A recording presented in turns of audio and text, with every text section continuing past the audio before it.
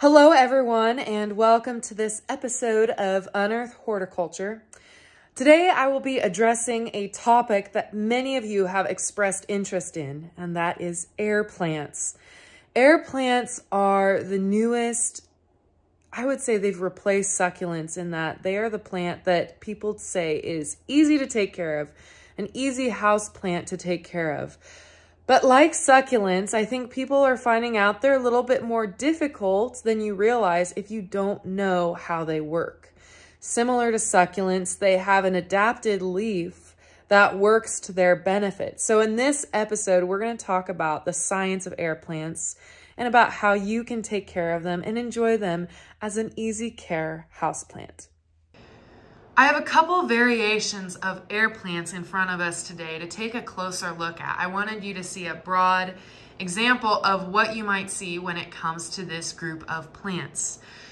Now, air plants are all classified under one genus, Tillandsia, and Tillandsia is a type of bromeliad, the Bromeliaceae family. Now, there are a couple of other bromeliads you might have seen around, maybe at the grocery store. They're really colorful, and usually you water them in the centers. They have a little cup in the center, and they're a lot of fun. So if you haven't grown a bromeliad, I encourage you to try that one out. But uh, another one you might know is pineapple. Pineapple is in the Bromeliaceae family. It's a very tropical family, and they're known as being epiphytic or hemiepiphytic, so at least partially epiphytic. What epiphytic means, if you haven't heard that word before, it means that these plants grow upon trees. They grow in tree branches and not in the soil.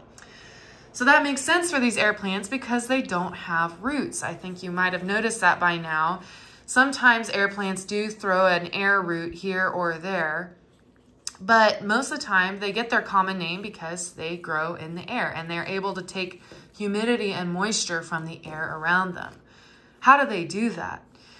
So they have this specialized plant structure on their leaves called a trichome. And you might have heard this term before in reference to tomatoes. Tomatoes are a tropical plant that also have trichomes, but they function in a little bit different way. Trichomes on tomato plants usually act to help keep humidity around the leaves, but they also act to release chemicals as well.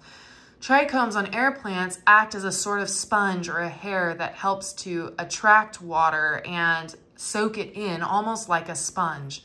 So you'll notice on this air plant and a few of the others here in particular that there are really pronounced trichomes. They're very fuzzy and silvery looking and they have kind of a suede leather texture to them. When you get those trichomes wet, they actually, this the plant turns a vibrant green and you can see that it's charged with water almost like a sponge. And that's very similar to another common epiphyte that we know is the orchid. Orchids that are epiphytic have roots that turn from silver to dark green when they're charged with water, very similarly to how Tillandsia air plants look when they are charged with water. So that's the way air plants take up water. Not all plants, this is very important to understand, not all plants take up water through their leaves. In fact, most plants do not. Most plants have to take in water through their roots. Plants can lose water through their leaves, but they don't usually take up water through their leaves. So that's why air plants are known as kind of a phenomenon, a really cool plant in the plant world. Now the one I just picked up here, you'll notice is kind of smooth in texture and its trichomes are much shorter and adapted a little bit differently. But another thing to understand about trichomes is that the more pronounced they are and the more, the thicker they are, the easier it is for your air plant to retain moisture. And that comes into play and is more important as we talk more about plant care. Before we get into the watering routine you need for air plants, which is really what everybody cares about, what everybody needs to know about, let's talk about the light and temperature really quick.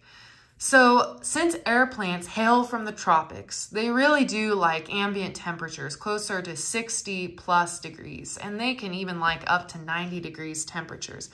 But it's important if you're keeping them by a window for lighting that you just keep in mind they're going to have much slower growth because it'll be cooler by your windows.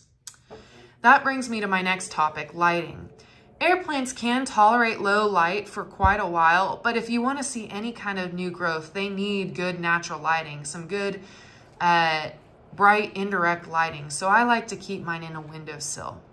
Now let's get into the nitty and gritty. Let's get into the watering methods of air plants. Now, if you know about air plants, you may have heard of the many conflicting watering methods that are out there. You may have heard that they need a closed glass terrarium to keep the air humid around them. You may have heard that they need misting every day, and that's all it takes. You may have even heard they need soaking for a good half hour before they can be deeply watered. In reality, all of these watering methods are less than ideal, and I will give you a rundown of what your watering routine should look like.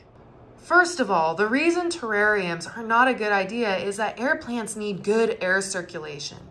They have a tendency to rot if water is allowed to sit in the creases and crevices of the base of the leaves. So it's really important that these have really good air circulation and terrariums just don't offer that to air plants most of the time. The reason misting is not a good idea for your air plants is that it often doesn't water them deeply enough. It's really important that they have deep hydration every time you water them because misting just doesn't doesn't quite satiate the plant.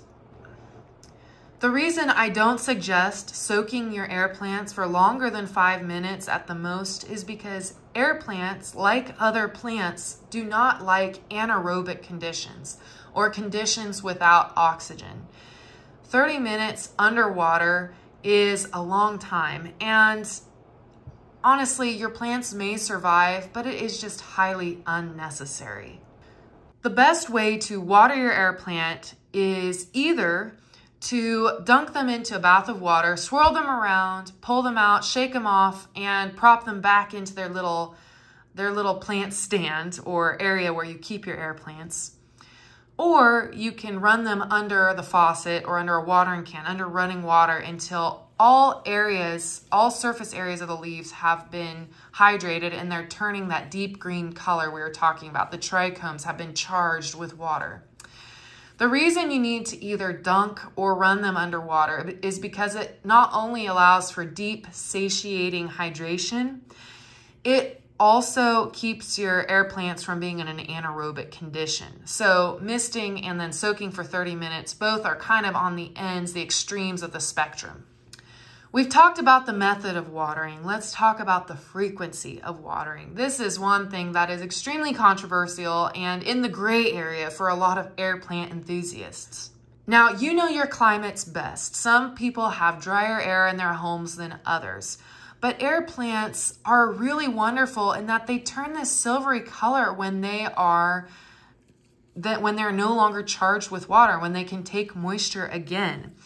So I usually suggest plants, air plants that have thicker leaves and more pronounced trichomes like these, these two guys right here. These guys can take water at one to two times a week. And in the winter, you might consider watering them twice a week because we have drier air than we do in the summer.